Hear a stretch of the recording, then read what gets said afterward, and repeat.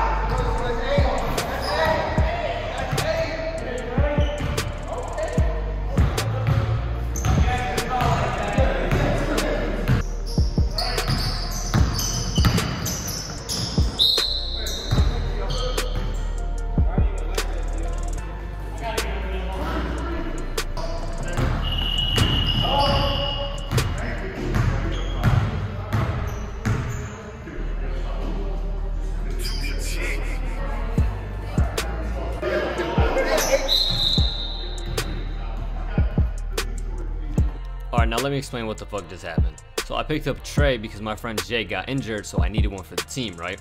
And I talked to the dude in the league. He told me I can't have Rod and Trey, but I can pick up Trey. I'm like, alright, cool.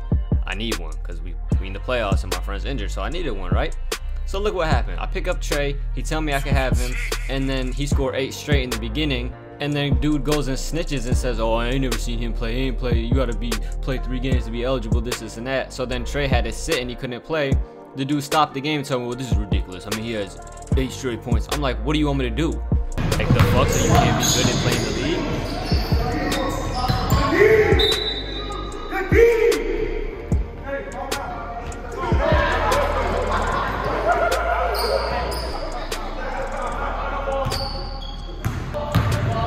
And then you see dude trying to act tough and yell and say good D, this and that. Motherfucker ain't do shit. Ain't do shit the whole game, ain't do shit the whole season. Look at this, go ahead and break the fuck out of that.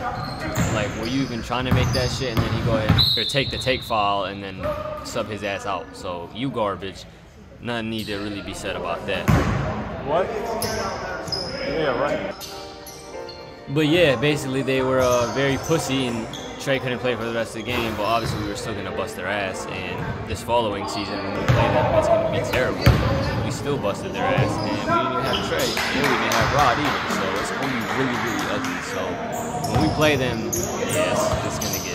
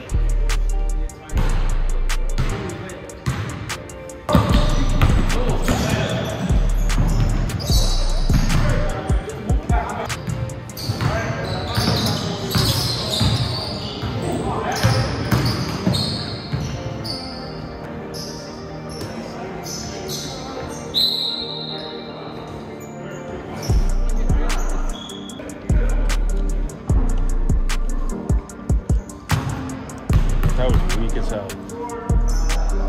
Teed him up. Dog. Didn't even do anything.